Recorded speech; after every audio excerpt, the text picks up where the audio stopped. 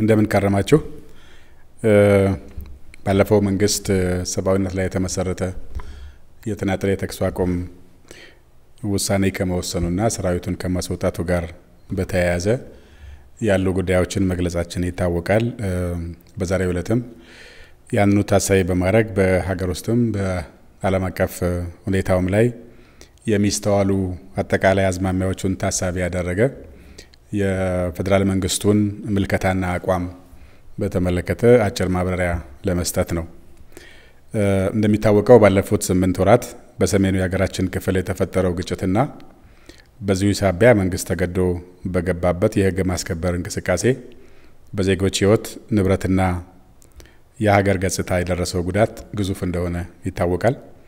መንግስት ተጨማሪ ኪሳራ የህዝብ ጉዳትና እልቂት ለማስቀረት ሲባል መሰረቱን ሰብአዊነት ላይ ያደረገ ነገር ግን ሌሎችንም ፖለቲካዊ፣ ማህበራዊና ኢኮኖሚያዊ እንዲሁም የሀገር ሉዓላዊነት ላይ የተደቀኑ አደጋዎችን ግምት ውስጥ ያስገቡና ተያያዥነት ያላቸውን ምክንያቶቹን ታሳቢ ያደረገ የተናጠል የተኩስ አቁም መወሰኑና ማወጁ ይታወቃል። ይህንኑ ተከትሎ ሰራዊቱን ከግጭቱ አካባቢ እንዳስወጣም ግልጽ ነው። በዚሁ ምክንያት ቢያንስ ቢያንስ አንደኛ አታጅቡን፣ አትከተሉን፣ እኛው በተመቸን መንገድ ተንቀሳቅሰን ለብቻችን ሆነን እርዳታ ማድረስ አለብን የሚል ውትወታ ሲያካሄዱ ለነበሩ አካላት፣ ሁለተኛው የፍተሻ ኬላዎች ይነሱልን፣ በፍተሻ የሚስተጓጉል ሰዓት አይኖር፣ ምን እንደያዝንም ማንን እንደጫንም ለማወቅ አትሞክሩ፣ ነጻ አድርጋችሁ ልቀቁን የሚል በርካታ ግፊቶች ያካሄዱ ለነበሩ፣ ሶስተኛም ግጭቱን ጋብ በማድረግ የተኩስ አቁም ወስኑና እርዳታ በቀላሉ መድረስ የሚቻልበት ሁኔታ ይፈጠር፣ አርሶ አደሩም ይለስ ይረስ ሲሉ ለነበሩ፣ አራተኛ አዝመራውና የእርሻው ጊዜ ካለፈ ረሃብን እንደ መሳሪያ ተጠቅማቸዋል ብለን እንከሳቸዋለንና አዝመራው ሳያልፍ የእርሻ ጊዜው ሳይስተጓጎል ተኩስ አቁማችሁ አርሶ አደሩ ማረስ የሚችልበት እድል መፈጠር አለበት የሚል ውትወታ ሲያካሄዱ ለነበሩ ዋናው ምክንያታቸው፣ ዋናው መሻታቸው፣ ዋናው ፍላጎታቸው ምንም ይሁን ምን እነዚህን ጉዳዮችን በተለያዩ የዓለም አደባባዮች በተናጠልም በጋራም ሲያስተጋቡ ለነበሩ አካላት ምላሽ የሚሆን ነበር ተብሎ ይታሰባል። በእርግጥም ለሕዝቡ እና ለኢትዮጵያ ደህንነትና መረጋጋት ተጨንቀው ለነበሩት ደግሞ እፎይታ የሚሰጥ የሚያስፈግግ አዎንታዊ ውሳኔ ነበር ተብሎ ይታመናል። ውሳኔውን ተከትሎ የታዘብናቸው ጉዳዮችና አዝማሚያዎች እንደ መንግስት የሚከተለውን ይመስላሉ። የምናውቃቸውንም የራሳቸውንም አፍራሽ ዝንባሌዎች የምንጠራጠረቸውንም በግል የምናውቃቸው የነበሩ አፍራሽ የነበሩ ዝንባሌዎችን ስፋት እና ተያያዥነት እንዲሁም ቀጣይነት መንግስት ለማረጋገጥ የቻለባቸው አዝማሚያዎችን ታዝቧል። እነዚህን ትዝብቶችም አጠር አድርገን በሚከተለው መልክ ማስቀመጥ ይቻላል።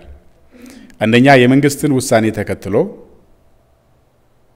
መሳሪያውን አዘቅዝቆ እና ጭኖ ከግጭት ቀጠናው እየወጣ የነበረውን የኢትዮጵያ መከላከያ ሰራዊት በመከተል ግጭቱ እንዳይቆም ይደርስ የነበረውን ትንኮሳ ያወገዘ አካል ብዙ አልነበረም።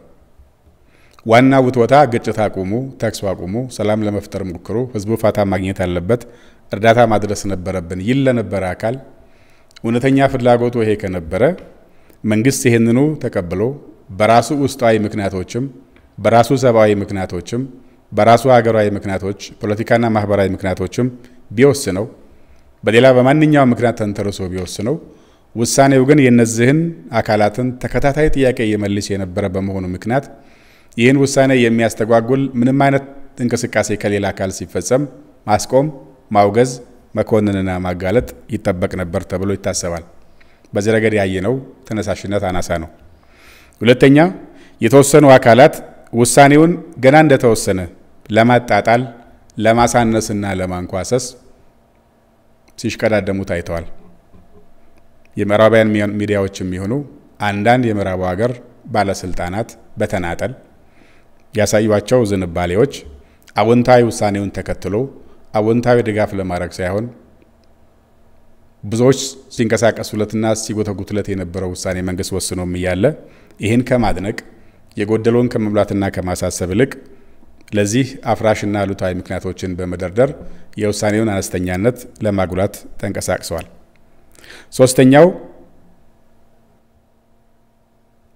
በጦር ወንጀል ዓለም የፈረጃቸውን ህፃናትን ለጦርነት የመመልመል የማሰለፍ እንቅስቃሴ በግላጭ በሌላኛው ወገን እየተደረገ በኤግዚቢትነት እየታየ ዓለም አቀፍ ሚዲያውም ሆነ አንዳንድ አካላት መንግስትን በተለያየ መንገድ ሲወቅሱ ሲከሱ የነበሩ አካላት ይህ በዚህ ረገድ ሁሉም ሰው ሊያወግዘው ስህተት ነው ብሎ ሊቀበለው የሚገባ ጉዳይ ተፈጽሞ እያለ ባላየ ባልሰማ የማለፍ ዝንባሌዎች ታይተዋል። አንዳንድ የምዕራብ ሚዲያዎች ይህንኑ አይተው እንደ ሚዛን የወታደራዊ ሚዛን ማስተካከያነት እየተጠቀሙበት መሆኑን በማጉላት በአዎንታ መልክ ለመዘገብ ያሳዩት ዝንባሌም ጎላ ያለ ትዝብ ተደርጎ ሊወሰድ የሚችል ነው። ህወሓት አሁንም ግጭቱን በአፋርም በአማራ በኩልም ለማንቀሳቀስ ለማስፋት የሚያደርገው እንቅስቃሴም መንግስት ከወጣ በኋላ በአካባቢው ላይ የሚደረጉ አሉታዊ እንቅስቃሴዎችንም ለማወቅም ለማጋለጥም ለመኮንንም የሚደረገው ሙከራ አነስተኛ ሆኖ ታይቷል።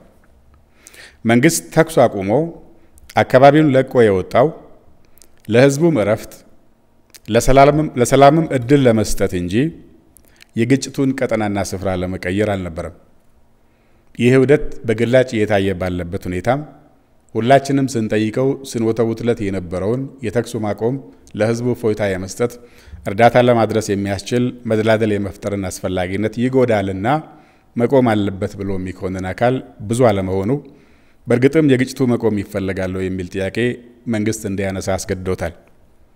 አምስተኛው በተለይም የሰብአዊ እርዳታ እናቀርባለን ወይም እናስተባብራለን የሚሉ አንዳንድ አካላት ቀደም ሲል ሲወተውቱላቸው የነበሩ ጥያቄዎቻቸው በሙሉ ተመልሰው እያለም አሁንም መንግስት በአካባቢው በነበረበትና ግጭት ይካሄድ በነበረበት ወቅት ያሰሟቸው የነበሩ ስሞታዎችን፣ ክሶችን፣ ወቀሳዎችን ያለምንም መስተጓጎል አጠናክሮ የቀጠሉበት ሁኔታ ይታያል። ይህም በእርግጥም መጀመሪያ መሰናክል ስለነበረ ነው ወይ ያ ሁሉ ስሞታ ይቀር በነበረው የሚል ጥያቄ እንድናያሰ መንግስትን አስገድዶታል።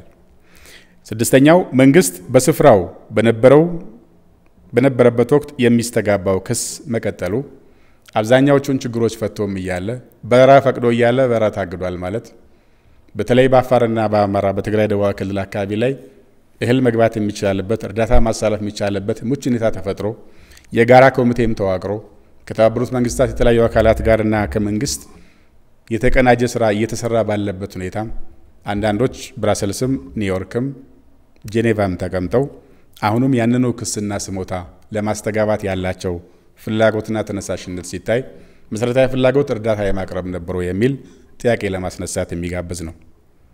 ሰባተኛው አንዳንድ የአውሮፓ ሀገራት የአውሮፓ ህብረት ሀገራት ባለስልጣኖች እንዲሁም አንዳንድ የምዕራቡ ዓለም ግለሰብ ባለስልጣኖች ጉዳዩን የግላቸው እስኪመስል ድረስ too personal and one sided የሆነ አቋምና አመለካከት በቋሚነት በማስተጋባት ኢትዮጵያን የማዋከብ የማጨናነቅ አቋማቸውን አጠናክረው የቀጠሉበት ሁኔታ እጅግ አሳሳቢ ሆኖ ቀጥሏል። ሰሞኑን ጄኔቫ ላይ የተካሄደው የተቀናጀ ማዕቀብ ለመጣል ቅድመ ሁኔታ የሚሆን ለጊዜው በአንዳንድ አካላት አሁንም ፍጭ የሚታይበት ያለው ነገር ግን የጋራ ምርመራን በተመለከተ በአካባቢው ላይ ግጭት ከተፈጠረበት ጊዜ ጀምሮ በማንም ይፈጸም በዜጎች ላይ ደረሱ የሚባሉ ጉዳቶችን የማጣራት ጉዳይን መንግስት አንድም ለአፍሪካ የሰዎችና ሰብአዊ መብቶች ኮሚሽን ሁለትም ለተባበሩት መንግስታት ሰብአዊ መብት ኮሚሽን ግብዣ በማቅረብ በተለይም ከተባበሩት መንግስታት ሰብአዊ መብት ኮሚሽን ጋራ በጋራ ምርመራ አካሄዶ ሰው መድቦ ምርመራውም አንድ መልክ ይዞ እየተካሄደ ባለበት የተባበሩት መንግስታት ሰብአዊ መብት ኮሚሽንም ጥያቄ ባላቀረበበት መንግስት አልተባበረኝም የሚል ስሞታ በሌለበት ከባድ ድራማ በመስራት አንዳንድ ሀገሮችንም በማስፈራራት አንዳንዶቹንም በማባበል የውሳኔ ሀሳብ ቀርቦ በኢትዮጵያ ላይ የአቋም መግለጫ እንዲወጣ ለማድረግ የተደረገው እንቅስቃሴ መንግስት የወሰዳቸውን አዎንታዊ ሁኔታዎችን በሙሉ በመካድ ነገር ግን እንቅስቃሴ በነበረበት ወቅት ግጭቱ በተፈጠረበት ወቅት የነበረውን አጠቃላይ መንግስትን የማካለል ሂደቱን አጠናክሮ የመቀጠል ሁኔታ ታይቷል። በዚህም በርካታ ሀገሮች ጉዳዩን ስላላመኑበት ይሄ ነገር በተያዘው መንገድ ቢቀጥል የተለየ ጣልቃ ገብነት አያስፈልግ የሚል አቋም ወስደዋል። ለዚህም እጅግ መንግስት ያመሰግናል። አንዳንዶቹም በጉዳዩ ባያምኑበትም ከኢትዮጵያ መንግስት ተራ ቆመው ትክክለኛውን አቋም ለመወሰን በመቸገራቸው በድምፅ ባለመስጠት የተወሰኑ አገሮች መኖራቸው ይታወቃል። እነዚህም ቢያንስ እውነታውን በመገንዘባቸው ልናመሰግን እንወዳለን። አንዳንድ ሀገሮች እና አንዳንድ የአውሮፓ ህብረት ግለሰቦች በከፍተኛ ሁኔታ የ24 ሰዓት ስራቸው አድርገው በኢትዮጵያ ላይ ይህን ዘመቻ ለማስኬድ የሞከሩበት መንገድ አፍራሽ ነው፣ ገንቢ አይደለም፣ ወዳጅነትን አያመለክትም የሚል አቋም አለን። ይህንንም መንግስት በአጽንኦት ለመግለጽ ይወዳል።